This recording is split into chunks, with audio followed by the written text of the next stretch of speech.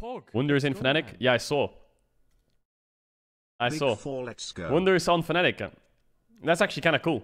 I'm actually kind of hyped it. Because when Wunder was on... Um, when Wunder was on Fnatic last, he had Reckless on his team, right? And they had a big problem, Humanoid said, or Razork said, that mid-jungle couldn't play to any side because both sides wanted to sack themselves. And also sack themselves in draft. But now, Wunder has a bot lane they can play through. So he can he can chill. He can chill. But we're gone. The Baldur's Gate 3 cam- campaign is gone, by the looks of it. 07 Baldur's Gate 3. I don't know how long he's there for. Maybe he's only there for this weekend and then we're chilling. Then he can be back for the Baldur's Gate 3 campaign.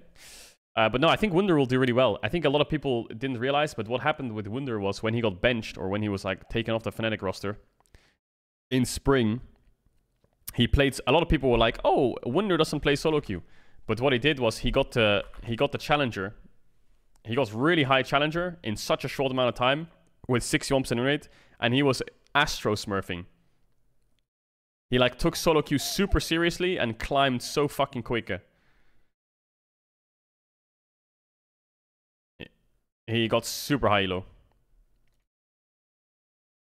He was playing Jace, GP, LeBlanc top, K'Sante, Lee Sin top, Fiora, Gnar, and he was like 1.3k or something.